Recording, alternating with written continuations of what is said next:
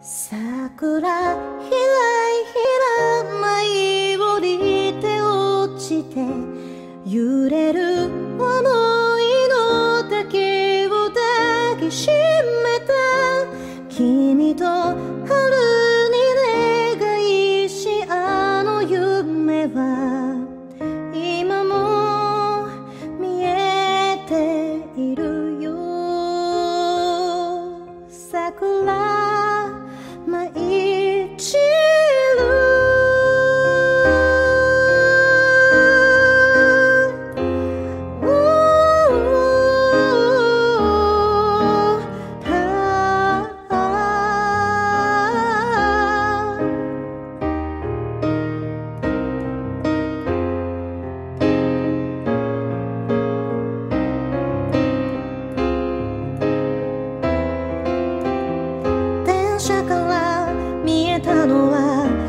つかの面影二人で通っ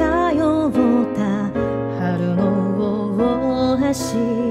卒業の時が来て君は街を出た色づく川辺にあの日を探すのそれぞれの道を選び二人は春を